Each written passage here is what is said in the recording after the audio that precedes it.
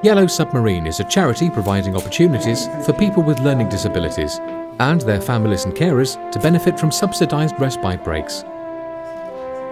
Throughout the year, a team of 17 volunteers helps to organise and support a variety of residential holidays and day activities across the UK. The breaks provide a chance for users to make friends, build confidence and learn new skills, as well as providing an enjoyable and memorable experience.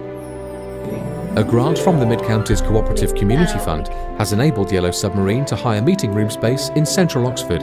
The Mid-County Co-op funding has enabled us to rent a room which we can use as a space for our service users to meet, to run art classes, to run training sessions. And it's also somewhere where our volunteers have been able to come, help us with our work in the company of other volunteers. Yellow Submarine started three years ago. Uh, my uncle has learning disabilities and I knew the great need for respite we started providing holidays ourselves and they've been so popular that the service has just grown and grown exponentially.